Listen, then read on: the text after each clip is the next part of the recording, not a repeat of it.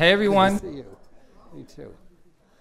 So my name is Chris Lewis. Um, I was a student of Larry's um, 11 years ago as a as a freshman here at UMass. Um, like a lot of UMass Boston students, I kind of just wandered wandered in, um, both to Larry's class and and into college in general.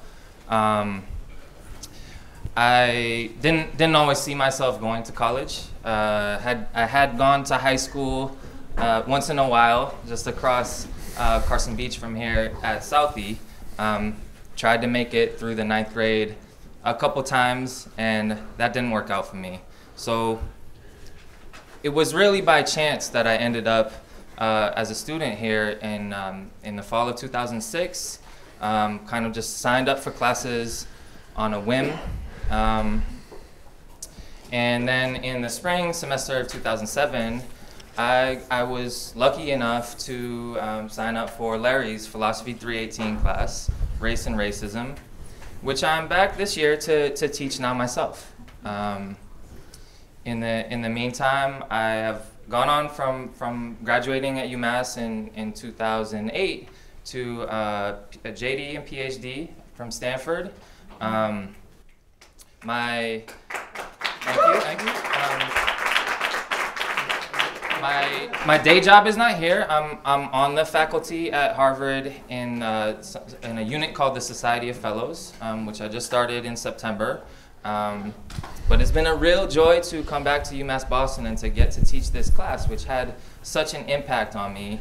Um, and taking this class was just maybe the luckiest thing that has ever happened to me in my life. So it's been a real joy to come back and um, and get to see this this institution um, from a different angle. I think UMass Boston is really special. I don't want to foreshadow too much of what Larry is going to talk about, but um, it was a very special opportunity for me to be able to attend a public urban research university like this, a, a real public university like this. Um, if it wasn't for UMass, I don't think I would have gone on to college at all, let alone become uh, a scholar or somebody with a PhD or a JD. Um, so, in the class, uh, we've been reading some, uh, some of Larry's book, 2002 book, um, uh, um, and we've also, over the last week, been studying one of his articles from 2004 called um, Stereotypes and Stereotyping um, A Moral Analysis. And this, uh, this article is a really good example, I think, of one of Larry's very uh, distinctive and special skills as a, as a researcher and scholar um, that others have touched on in, in passing but haven't, haven't focused on so much today.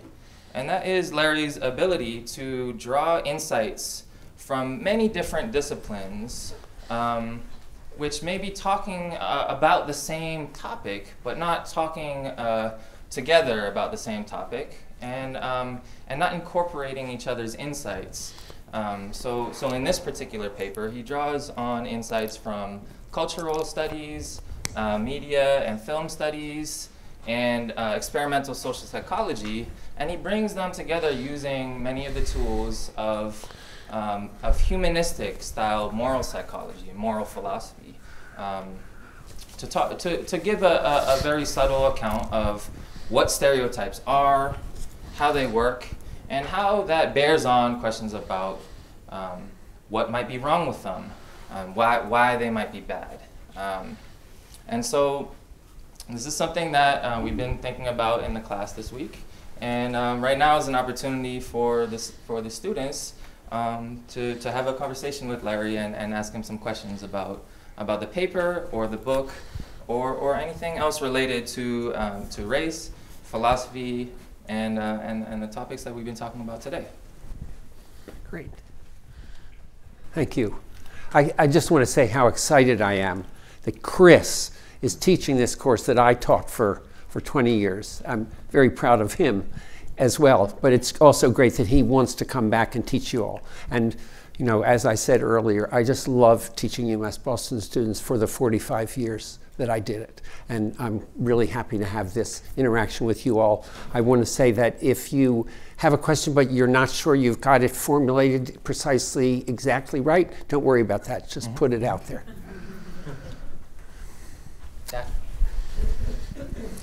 Hi. Um, Hi.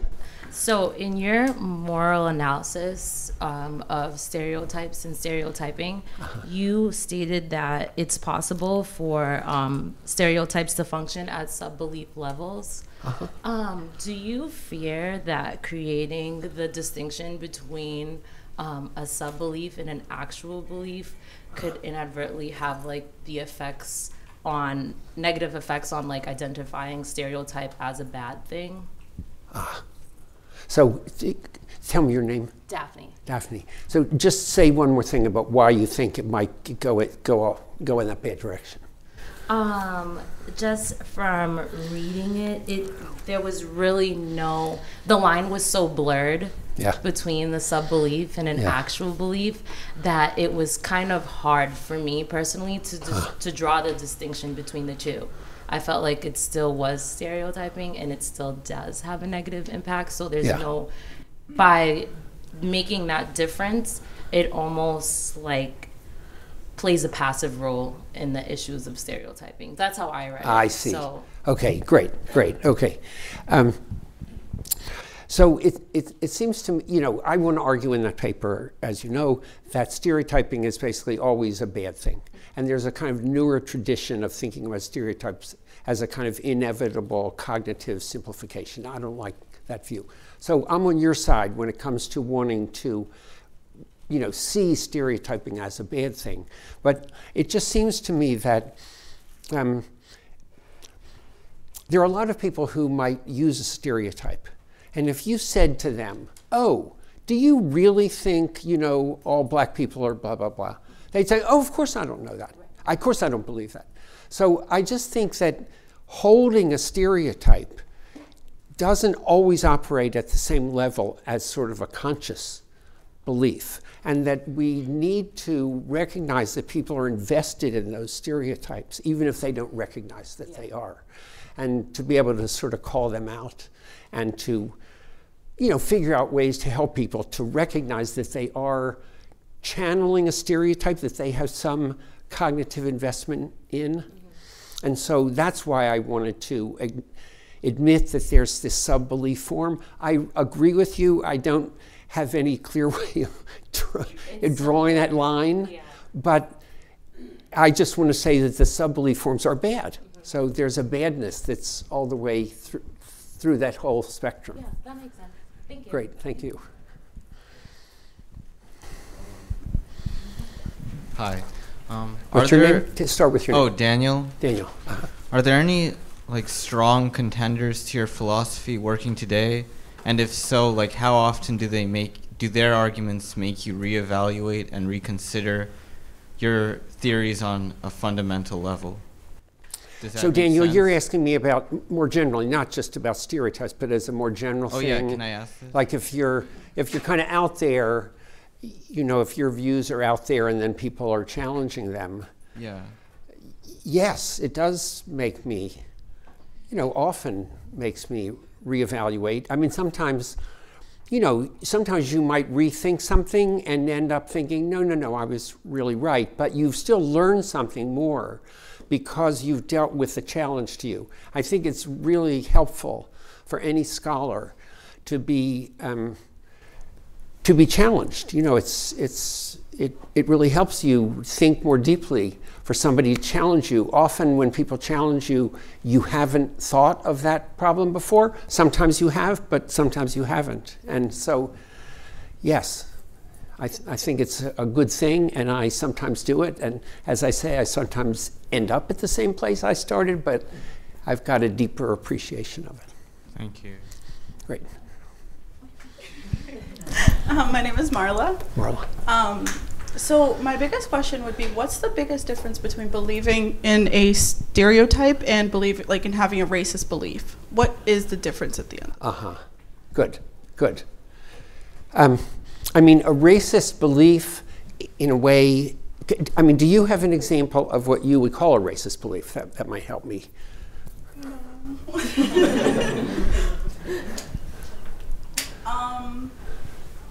okay, so my little cousin turned to me and she said, "Is it racist to say that all black people wear saggy, all, all black boys wear saggy pants in my school?" And I said, or and she said, "Or is it a stereotype? And what is a stereotype?" And I didn't know how to answer, so that's why I'm passing. Is that what, who, who said that to you? my little cousin? Well, she's, that's very, t- you know, interesting that she would formulate it that way. I mean, did she, did she, was she saying, is, if it's a stereotype, then it's not a bad thing? I think no. she had just learned the word stereotype. I see. I, so I thought like the eight-year-olds, do they all know what a stereotype is? I don't know. Um, yeah, so, so a belief, so somebody articulates a belief, all the, was it that all black kids wear s- saggy pants? Yes. So, I mean, that's a kind of, if it's formulated as a belief, you're attributing to a racial group, you know, a certain style. And the way you formulated it was all black kids, say under Yeah, yeah. 18 or whatever, wear baggy pants. Obviously, that's false. Right? So clearly, if you formulate it with the, uh, what's the word for all? You know, a universal something or other thing. Universal quantifier. I'm sorry, my philosophical terminology has always been a little weak. Um, so clearly, it is a false belief, but it's also a stereotype. That is, there's a stereotype of black kids as having baggy pants. And a, stereotype isn't always the same as a universal generalization. Sometimes it's vaguer. That's part of what I was arguing in the article. It's like you associate a group with a certain characteristic. And if somebody says to you, Do you really think all of that group has that characteristic? You know, most people say no. But they might still be, as it were, channeling or having that stereotype operating in their kind of mental, mental universe. So I think the case you gave, when you stated it as a universal generalization, it's, I don't know if I, I guess it's, I'm not sure if I want to call it a racist belief, but it's a bad belief that has a racial element to it. So let's, let's say, um, but it also is probably coming from a stereotype as well. I don't, I don't want to say that stereotypers never admit that they're, or, or would, would always say, no, I don't believe that all of that group has that characteristic. I think sometimes they would say that they did. And one of the articles, I can't remember which one that I quote in the article, was a, uh, there's a kind of older tradition of thinking about stereotyping in which it always involved this universal feature. That is that every you thought that every member of this group had that question. All jews are greedy every single one of them. And so and there's some experiments that were done using that way of formulating stereotypes. But in the in the more contemporary thing where people are somewhat more self-aware somewhat more self-aware not enough but somewhat more self-aware they will usually deny the universal one but they might still have this vaguer, less than universal one operating. So a good way to teach her would be to say, "Do you really think that all Yes.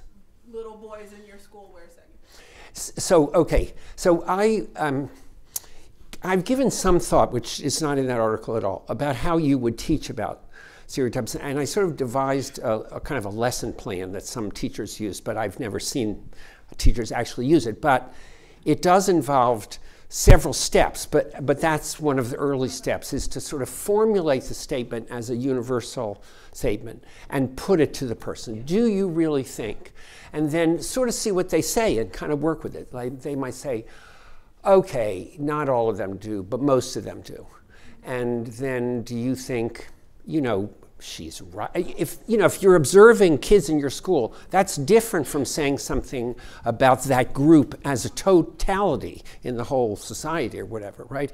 So if it's something that's really a matter of their own personal experience, you know, you can ask them, well, you know, what makes you think that? And sort of probe their evidence basis for, for saying what they're saying. And then try to take it a step further, you know, if they're not seeing what's wrong with it.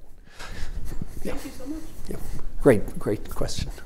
So my name is Reina, and I guess my question comes out of curiosity. Um, so in your book, I'm not racist, but the moral quandary of race, you talked about like you have this specific phrase that says like not all racial acts are like racist acts. Uh-huh. So I just wondering like in like the contemporary view of like racist right now, right, and everything that's going on in the political landscape with um, Yeah, yeah. you know race issues, what would you consider a race act?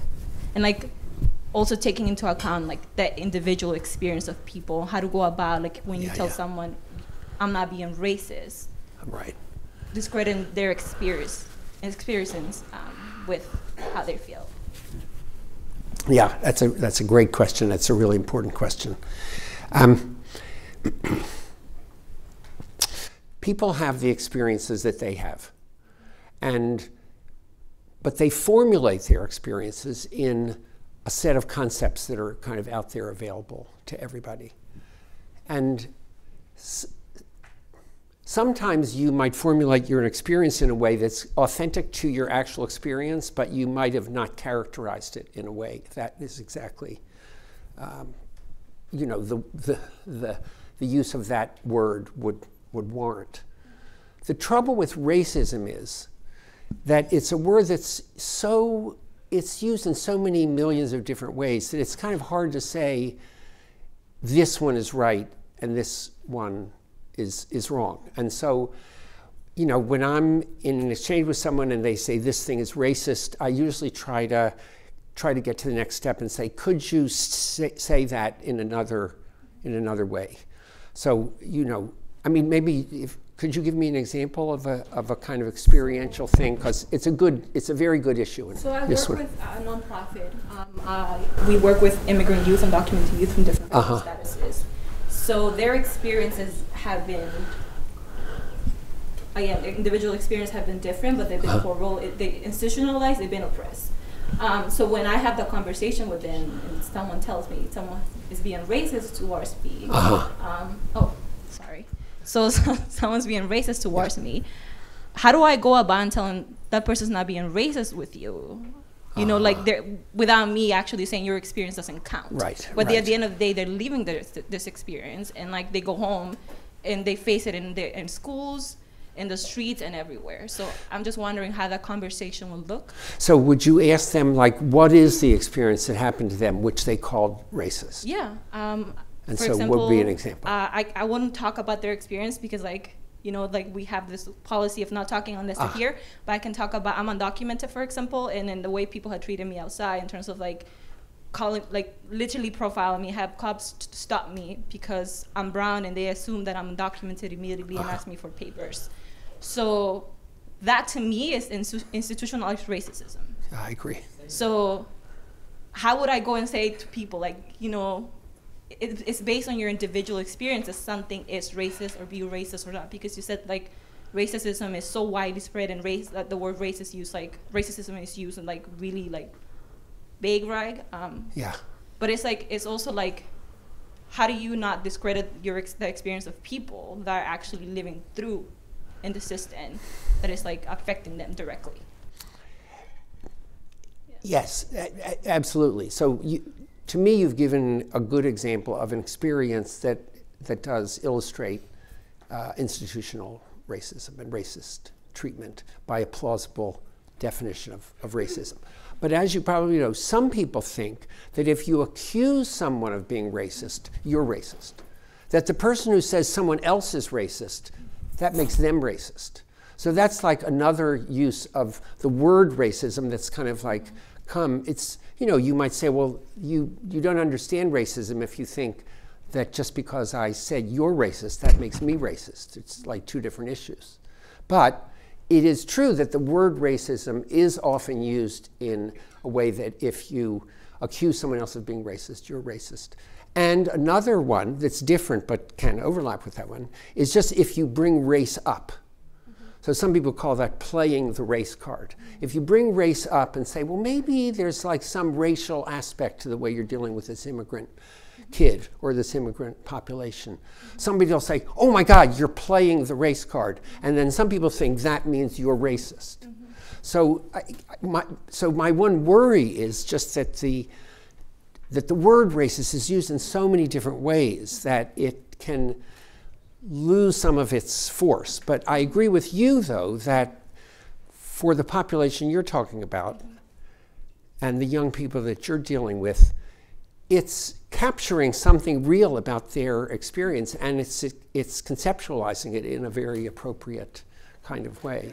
But, you know, I'm sorry, just to like, but I do think that if someone just says, um, somebody treated me in a racist way, I would say, could you describe to me what actually happened to you? Because of the sort of vagueness around the word racism, I would want to hear what's the experience that so what do you think about I that? well, I don't want to take too much. No, that's fine. Because I feel like sometimes I think we were talking about this how when you talk about race it makes people uncomfortable, but like you have to be uncomfortable Yes. when you talk about this type of issues. Otherwise, how you're supposed to learn from each other and teach people what's wrong right. So I agree. I just think like yes, sometimes like playing the race card might be bad, but sometimes you need to have those type of conversations. Especially now that during the times we're living, uh, when people are like so dismissive towards your experience that they're like, I get Yeah. it but I think it's really important to have conversations, whether you feel comfortable or not. I think it's good for you to have those conversations. I agree. I completely agree. Of course, that's the whole point of having a course where you, that's what you're doing in the whole course is you're, you know, you're kind of having those conversations, and hopefully you can sometimes take those conversations and help you to engage with maybe somebody in your social circle who, you know, is one of these people who, if you bring race up, they just like hit the roof or you know go crazy or something like that. Because unless people are willing to really talk about the race, and unless you know, some of these kind of people that you're talking about can hear what the kids you're working with are experiencing, they're not going to get what's going on. So I, yeah, I'm with you there.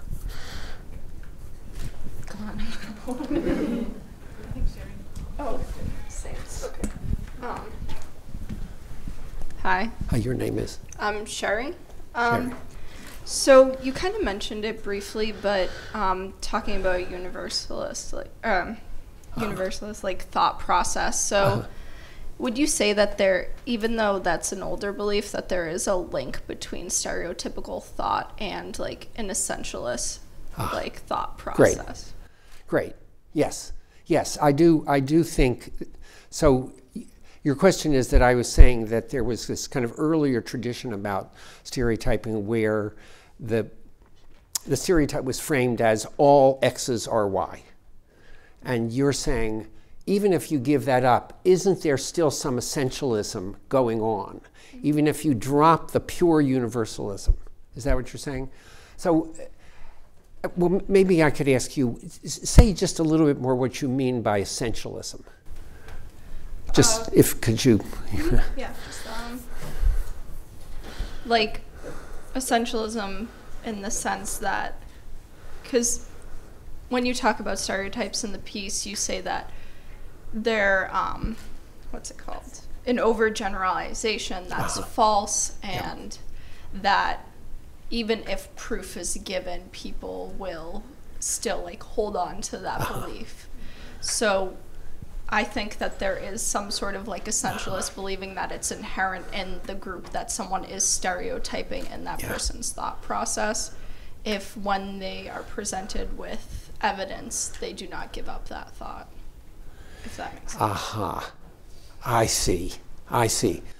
Okay, so so right. So what I was saying in the in the piece is that sometimes when people are presented with counter evidence against their stereotypical generalization, they won't take in that evidence. They won't dislodge their stereotype. They'll hold on to the stereotype and say, "Oh, that person's an exception, but the group is still you know, like this way that I originally said, right? So, so what you're what you're saying is that the quality in people that makes them unable to take in evidence against their belief, right? That's what you're interested in. Is that right? Yeah, I'm. I don't think it's like a part of human nature to think that. To way. do that. Yeah, I was Yeah. just curious, like, if there really is like a separation between stereotyping uh-huh. and that sort of like essentialist thought process. Well, so so the, the, the So my, you know, I argue in the piece that it's part of stereotypical thinking that you don't take in counter evidence very easily. You have to be hit with a whole lot of it before you really take it in. And that's part of stereotypical thinking. I don't think it's part of human nature, but it is a familiar way of thinking. All of us do it some of the time, right? Um, but stereotypes are bad. So when you do it in the in the context of stereotypes, you're you're in a way wronging the group that you're continuing to attribute this this characteristic to.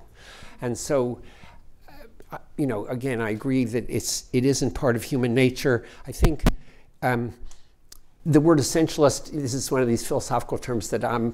I always uh, defer to Sally about stuff like this, because I don't know ex- exactly understand it. But I think what's right about about the use of the word essentialist is that you somehow think that group, you know, the kids wearing baggy pants, is somehow inherent in their nature to have that characteristic. And that's part of stereotypical thinking, even if you don't make it a universal generalization. Yeah, I agree.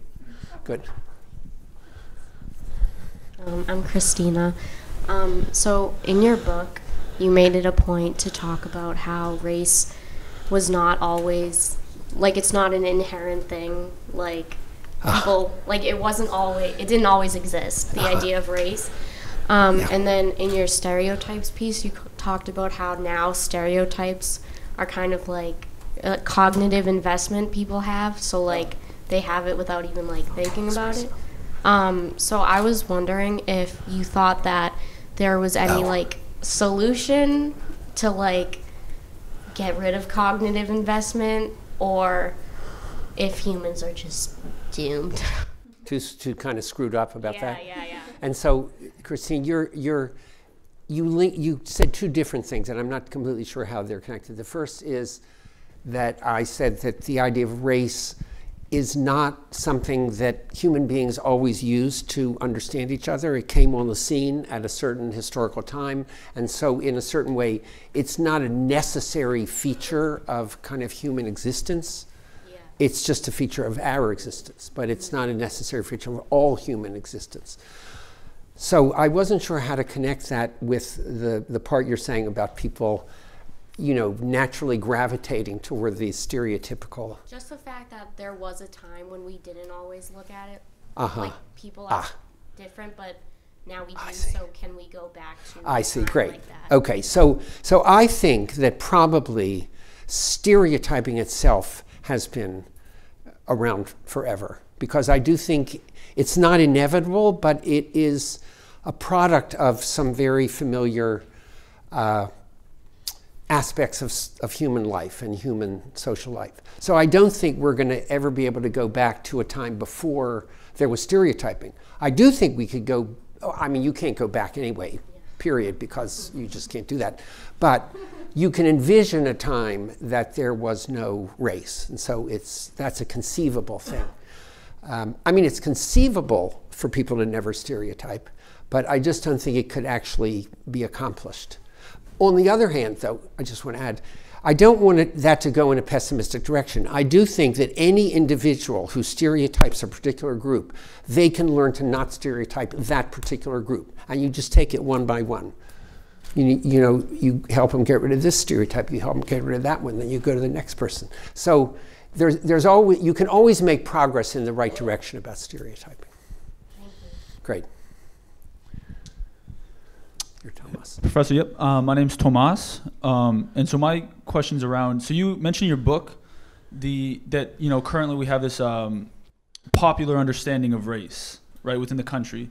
And I've been, th- I've been thinking about that a lot, and I definitely um, believe that's true, right? Like most people that grow up in the United States have a, a very strong understanding of race and can kind of put people into racial categories. Uh-huh. And then you, throughout your works, um, use common racial categories. You know, you reference white and black and Asian and uh-huh. and Latino. And I just, I do wonder if you if you think there's any dangers to doing this, or if there's any um, particular positives to constantly referring to these um, yeah. racial categories that we can also agree are, are invented. Yeah, great. So, Tomas, you were in my multiculturalism class, right? I- but I was not blessed. the race, not the racism class, right? right, right. 232, I believe. 232 was many years ago, but Yes, I, rem- I remember you. Um, um, so that's a great that's that's that's a great question, and I have actually, I have to admit, I wrote an article that answers your question in a sense, in in, two, in, in, two, in 2010, and I think that. Um, I, I do continue to use racial language because it's very hard to name the system of white supremacy, as, as Charles calls it, and the groups produced by white supremacy without making some reference to racial language in some way. But the way races are understood in, in that way of trying to capture a historical experience is different from the way people, especially back in the 19th century, thought of races. They thought of races as groups that were biologically distinct, had different genetics, uh, they implied different genetic structures, that their whole natures were completely different from each other. That's, and you're right to say, isn't there a worry that if you use this racialized, that's my terminology, this racialized language, which is the same words as the racial language, that some people are going to bring the associations with that very dangerous idea of race into the into their understanding of what's going on. Yes, I think that is a danger. I really do. But I think that that danger is outweighed by wanting to dismiss racial language because then you cannot name white supremacy, you can't name racial injustice, you can't name reparative justice. I mean, there's just all kinds of things you, that are part of the world we live in, and you will be depriving yourself of language that you need to, to name that. So I, I think there is a danger, and you have to kind of look to see whether, like a particular time you're using it, the person you're talking to is like going in a what's called a racialist direction with that, you know, and and then do your best from there. Thank you. Great. So should we? Yeah, should we? Should, yeah. Okay. Thank thank you all. That was great. That was really great. It's like I'm back in the classroom again.